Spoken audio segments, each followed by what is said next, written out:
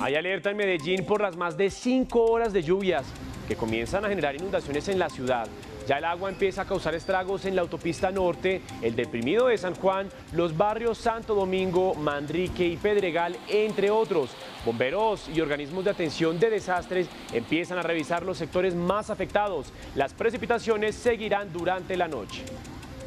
Allí estamos viendo las imágenes. Miren ustedes, hay un bus de servicio público de transporte literalmente bajo el agua. Así está la situación a esta hora en Medellín. Incluso nos reportan que en ese vehículo se encontraba una persona intentando salir en el momento de los hechos. Tenemos las imágenes de la situación que tenemos allí en Medellín por las lluvias. Lo están viendo ustedes allí en nuestras pantallas.